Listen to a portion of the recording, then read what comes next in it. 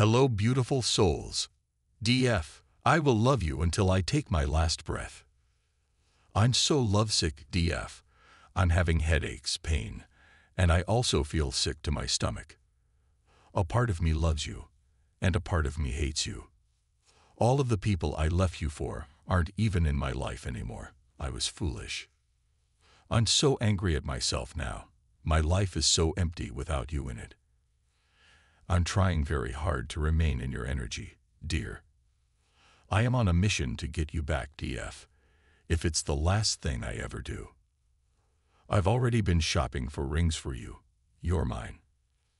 She manipulated me, and then I manipulated you, DF. I often sit and wonder what things would be like if I had made different decisions. Final messages from the DM today. It only wants me because I want you. She's contrary. I have a victim mentality now. It is because I have never developed a healthy way to cope with my trauma. Very patient with me. I was the unreasonable one. I am carrying a heavy burden, and I need to set the record straight. I mistreated you, and I see the error of my ways. I will never ever meet another woman who will give me unconditional love like you did. I'm leaving toxic people and situations behind me now. The comment claims that I said your name in my sleep. Dear, if your spiritual gifts are getting stronger, I'm so proud of you. If you must know, the thing that is holding me back is fear. I am terrified of you rejecting me, dear.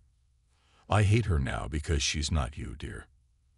If I ever get another chance with you, I promise to not lie, cheat, steal, or manipulate. DF, while you may not need me in your life, I feel as though you want me in it. I really did think that it would be easy to move on from you. However, it has been so difficult for me, dear. She slandered your name and made up so many lies about you. She put focus onto you, and now those people are your fans. You transformed into a queen of swords after you discovered the lies and deceit. Please give me a chance to mend your broken heart, dear. Dear, I loved you yesterday. I love you still. Always have and always will. That's all I have for you today. I hope you found this reading helpful. Please like and subscribe if you did. If you would like to show extra thanks, you can donate below. Thank you. Goodbye. In this reading, we'll be getting some messages from the Divine Masculine for you, Divine Feminine. Let's get started. What would the DM like to say to you today? I am staying away for now because I don't know what to say to you. I spiritually demoted myself. I rejected my blessing. I was completely tricked out of my divine union, and I'm extremely angry now, dear. If you are the gift sent to me from the Most High, I feel immense guilt currently. I want to reveal the truth to you now.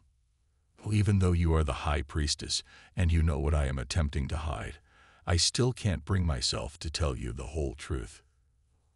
Lately, I am having trouble sleeping as my mind keeps racing. You put more effort, time, and energy into our connection, dear.